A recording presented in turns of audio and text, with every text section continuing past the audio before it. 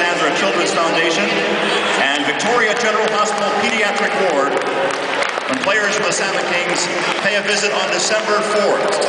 The remainder will be donated to CFAX 1070 Santa's Anonymous. Once again, on behalf of the Salmon Kings organization, and as well as the Queen Alexandra Children's Foundation and the Victoria General Hospital Pediatric Ward and CFAX 1070 Santa's Anonymous, we thank you for your generous support here this evening.